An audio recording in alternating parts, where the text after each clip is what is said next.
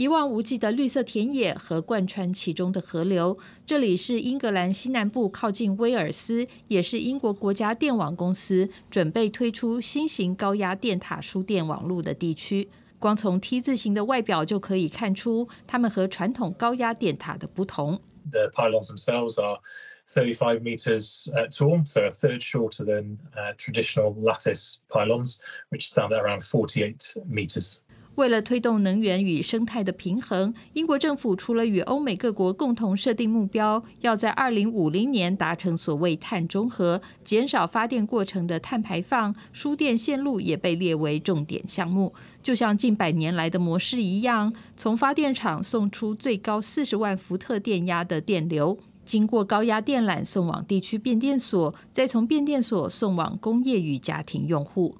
传统的高压电塔就和在台湾看到的极为类似，以这种钢架组合的结构建造而成。除了离地面较高，维修人员相对危险，同时基座占地面积较大，高压电塔所在的地区往往因为占用较多民间用地而引起抗争。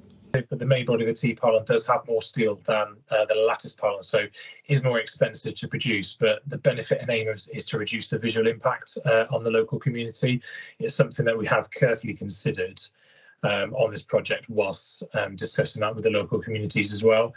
I think to look at the the um, equivalent cost is, is is only one part of it. Actually, the whole life cost and the benefits that the T pylons do give us um, is really something that um, that we factor into to the decision making also. 英国国家电网公司指出，现有这种常见的高压电塔，从一九二七年沿用至今，已经超过九十五年。 但更新设计的计划早在二零一一年就启动，多达两百五十个设计案加入竞标。目前已经完工、准备加入输电网路的有三十六座梯形电塔。二零二四年度还会有八十座新的高压电塔加入。公视新闻徐家人编译。